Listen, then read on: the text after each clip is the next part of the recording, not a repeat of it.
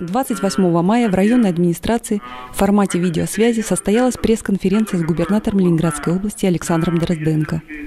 В ней приняли участие представители областных СМИ, а также журналисты из Санкт-Петербурга. Такое общение становится хорошей традицией и проводится уже второй раз.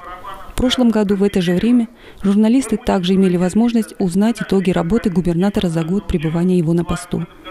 Поднимаемые вопросы касались развития экономики области, подготовки к предстоящему празднованию 70-летия Победы в Великой Отечественной войне, проблем строительства дорог, детских садов и жилья. Владинопольские представители средств массовой информации тоже подготовились к диалогу с губернатором, но, к сожалению, из-за ограничений во времени слова им так и не дали.